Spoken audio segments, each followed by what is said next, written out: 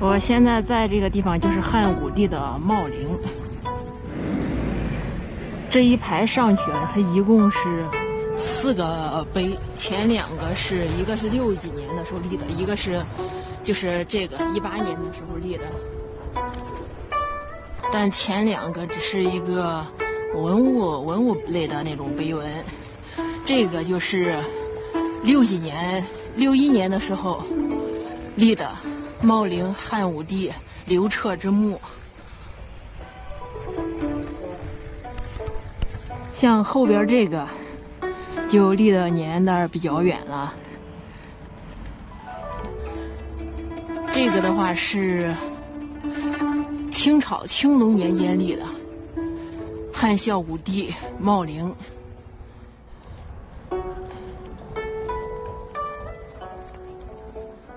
这个后边就是他的那个封土堆了。刘彻这个墓应该周围全部都已经封起来了，上不了陵顶。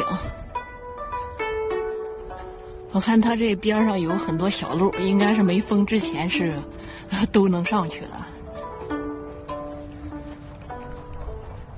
这里虽然说是修整了，但是架不住这个草啊。东阙门遗址，这个就是阙门遗址了。东阙门遗址，刘彻的陪葬墓现在留下来的就是离他最近的，就是李夫人墓，然后就是卫青墓、霍去病墓。现在收费的就是这个茂陵，然后就是霍去病的墓了。在汉代的这个帝王墓中，汉武帝刘彻的这个陵墓，它是规模最大的，而且它的修修的时间也是最长的。当时好像出土的这个陪葬品，也是最丰富的一个陵墓。那边那个应该是李夫人墓吧？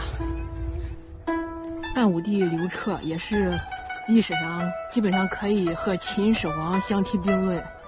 很有才略的一个伟大的一个皇帝，汉武帝当时在位的时候，汉帝国基本上可以说是一个非常鼎盛的一个时期。整个茂陵，咱们现在能看着的也就是东西的阙楼遗址，还有历朝修建的这个墓碑。这是整个汉武帝茂陵的这个图啊。这个地方是茂陵，这一排全部都是陪葬墓。这一点，这个地方是卫青、霍去病的墓。然后就刚刚我们去的那个地方，就这个地方是李夫人的英灵。然后今天的这个视频就先拍到这里，咱们下个视频见。